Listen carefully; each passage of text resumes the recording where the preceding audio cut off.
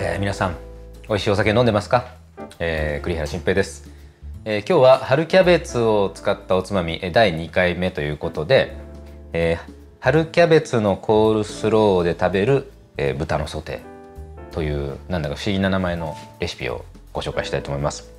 まあ今日ご紹介するあのコールスローはえっとすごく一般的ななんていうかな。まあいわゆるそのみんなが想像するコールスローってマヨネーズのものが多いかもしれないんですけどマヨネーズ使わない一般的なコールスローの味想像してもらってそれを作ってでその後豚のソテー焼いて巻いて食べるっていうメニューですね。でキャベツいっぱい使えるんですよ。コールスローって。で大体2日ぐらい食べ続けられるんでだからたくさん作って今日はこの量でやりますけど倍量であのやってもらってもいいと思います。あのこの量でやるんですけどからたくさん作ってストックしとくとちょっと常備菜的にも食べれるんであのキャベツのコールスロー非常にいいんじゃないかなと。思います。で材料なんですけどキャベツ春キャベツですね。それから玉ねぎそれからすし酢サラダ油でお塩。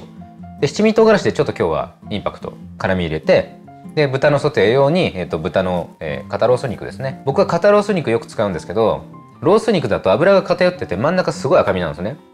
だから赤身の部分がキュッと締まっちゃってちょっと硬い。で肩ロースだと全体にうっすらサシが入ってるんですよ。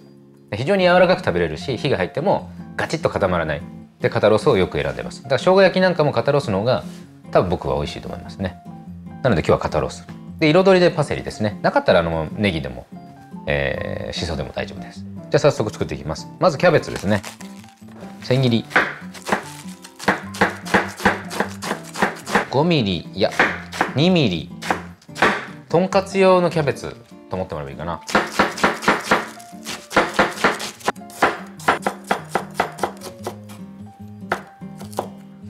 で全部千切りできたらこれをまずボウルに入れてでここにお塩。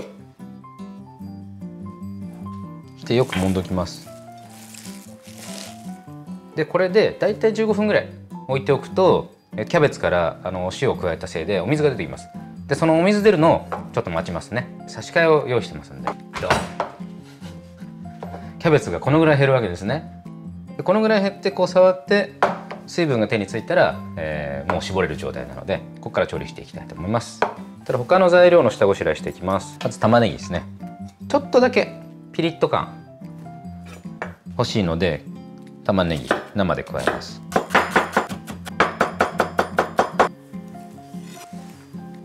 じゃさっきのキャベツを絞ります。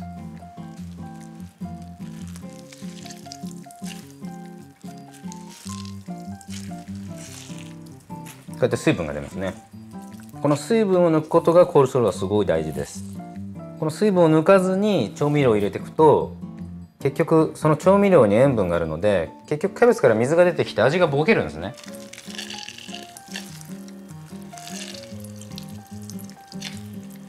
でがっちり絞れたらここにさっきの玉ねぎプラスし酢サラダ油。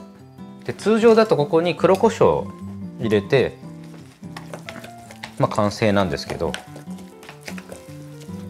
今日はちょっと七味を入れて辛み強め。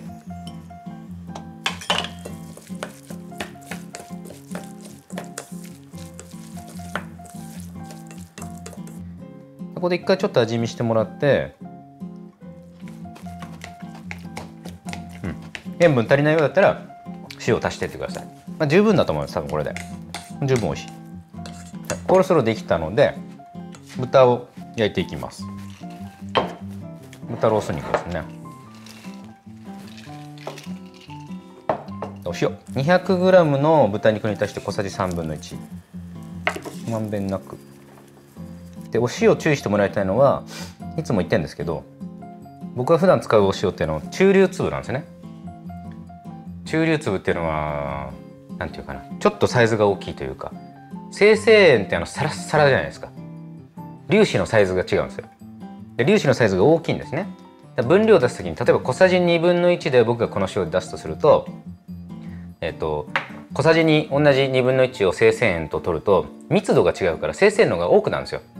要は隙間がない状態になるんで生成塩の方が。だからちょっとそれだけ気をつけて生成塩を使う場合は少し分量下げた方がいいですね。2分の1だったらだいたい3分の1ぐらいに下げちゃっていいと。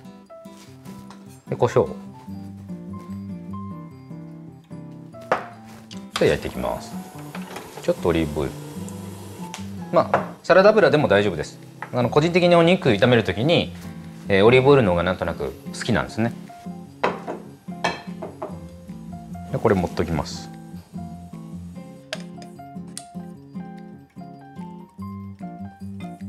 そしたら焼いていきます。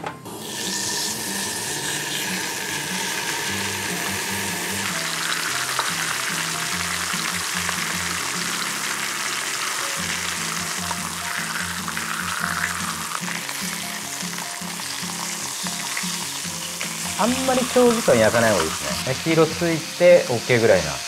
でピンク色のところが見えない。ぐらいの方が多分柔らかいです。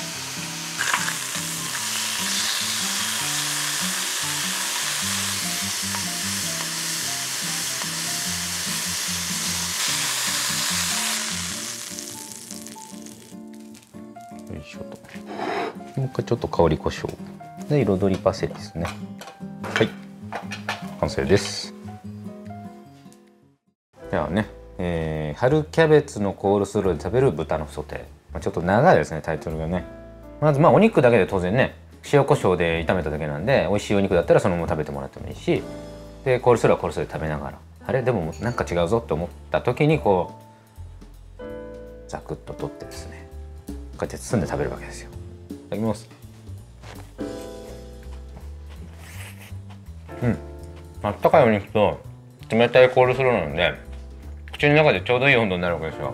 七味のボディーブローが最後ら辺でこうわーっと。うん。うまいな。試作の時よりうまい。というわけで第2回ですねこれね。2本目のキャベツ春キャベツを使ったおつまみ。まあコールスローはね、あのー、普段皆さんも馴染みがあると思うんですけどまあお肉で巻いて食べると。ちょっとコールスローが調味料っぽくなってまたコールスローがたくさん食べれるレシピになってますのでぜひやってみてください。ごちそうさまでした。